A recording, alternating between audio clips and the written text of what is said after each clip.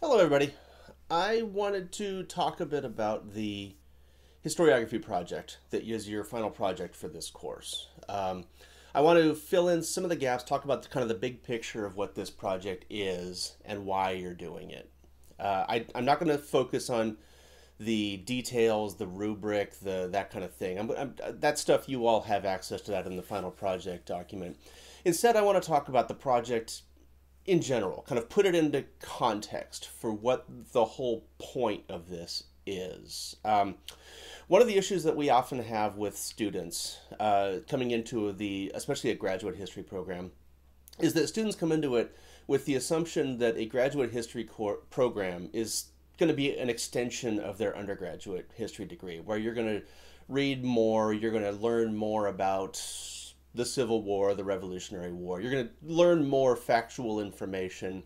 You're going to read you're going to read more narratives. You're just going to become more factually complete, I suppose you could say.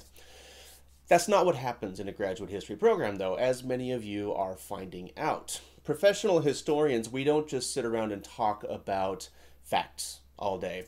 Uh, you know, we don't have we don't get together at conventions and just talk about you know the Battle of Gettysburg, and I mean, sometimes we'll talk about specific troop movements or something, but that's not the general gist of our conversations. Usually, professional historians talk about other professional historians. We talk about the work that other historians are doing.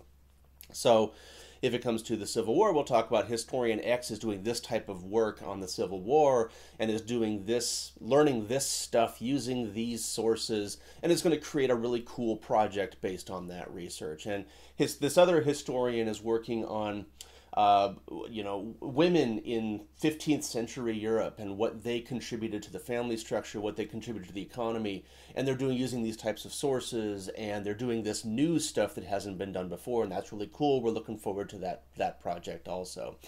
That's what professional historians do. Is that we we we track methodologies, we track what other historians are doing, we track we talk about source bases we talk about kind of the meta stuff you don't learn about in the undergrad program, and that's fine. But we're doing that here in a grad uh, history program. And so, when you're talking about a historiography project like the one that we're doing in this course, this is an essential step in any research project that you're going to do until the end of time.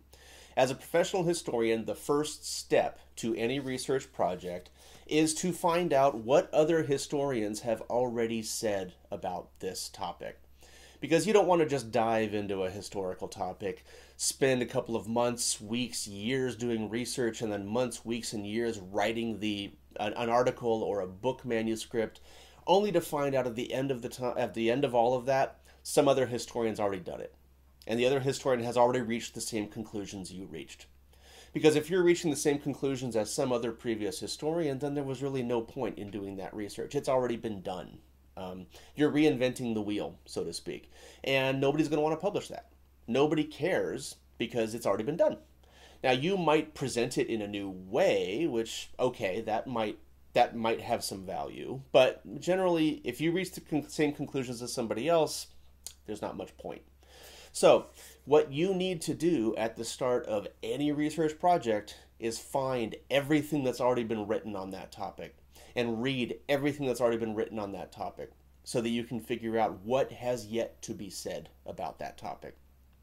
Um, and so, one of the components of the final project in this course is identifying a gap in the existing literature. What have previous historians missed?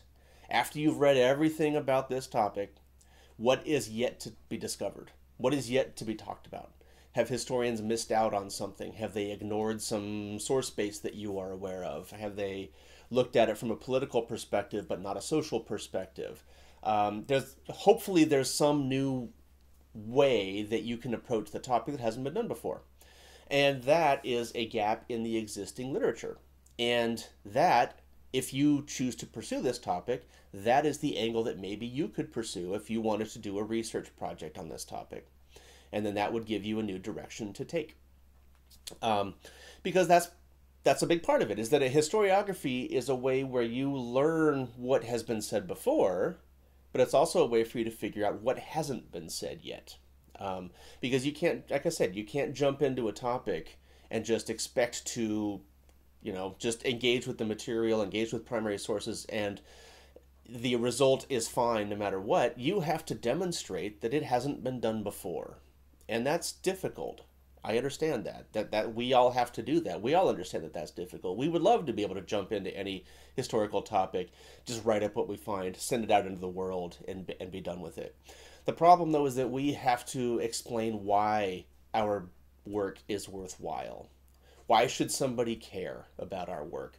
It's gonna we're gonna devote a lot of energy and time into doing this project a reader is going to dedicate a lot of energy and time into reading your pro- final product. How can we justify that use of time and energy if it's not being used to create something new? Uh, and so when you get to like your capstone and your thesis, and if you move on, if you need, if you move on to a PhD program, you'll get to a doctoral dissertation. Everybody's going to be talking about, okay, what are you saying that is new? How are you adding to the existing to our existing knowledge? If you've got an existing literature about a topic, what are you saying that that existing literature has not already said? Because you have to contribute something new, or there's not much point in doing it. Um, so that's what this project is. This is to get you into that mindset. It is to get you into the idea that you need to know what books have been written on a topic. And that means all of the books that have been written on the topic. The project itself is only asking for you know, to anal- to analyze eight to ten sources, and that's because it's only a ten week time frame. It's a 12 to 15 page paper. It's a fairly small project in the overall scheme of things. And so you don't you only need to focus on like 8 to 10. But when you're getting to a capstone project or a thesis project or a dissertation, you need to be familiar with everything that has been written on that topic since, since the beginning of time. Uh, in order to be educated on it, in order to be able to talk about this and say that, well, you know, this is what I am adding to the discussion. All these other historians have added all this other stuff. I am adding this, though. This is why it's important. This new addition. This is why people should care what I have to say. This is worth all of the energy that I put into it. This is worth all the energy that the reader is going to put into it. This is what matters. I am adding something new to the conversation. And I can prove that by looking at the existing literature over here and saying they all did all this. They I'm standing on their shoulders. I am using a lot of their work and their ideas and all that, but I'm going beyond to add this something new, whatever this something is.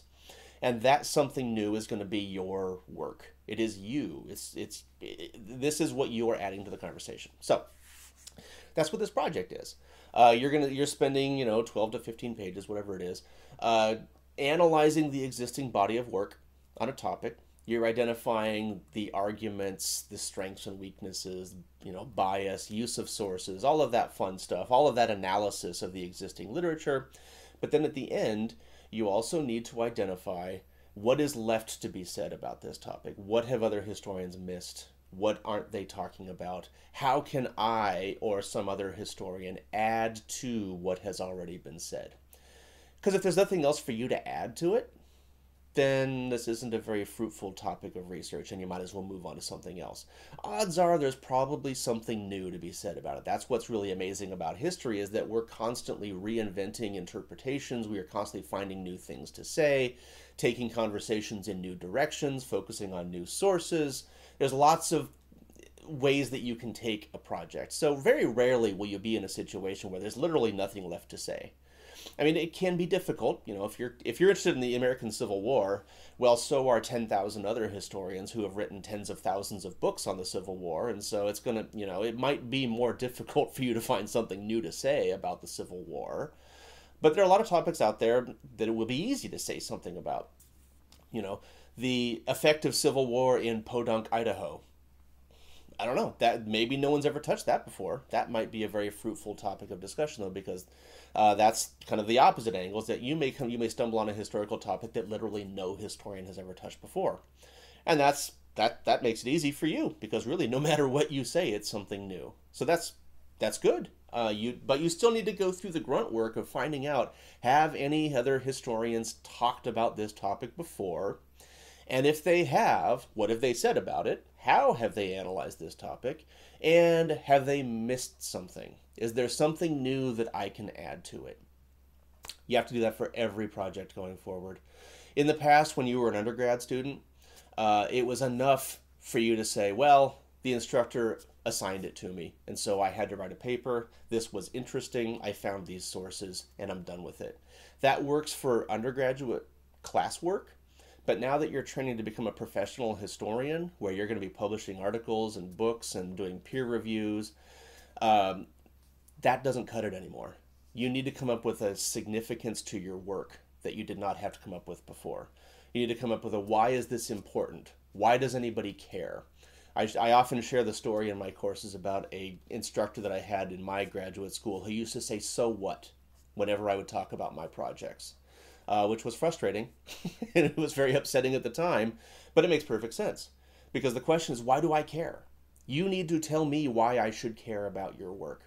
And if you can say, well, no one's done it this way before, and I think this is going to be a fruitful pursuit for me to go this this new direction with it.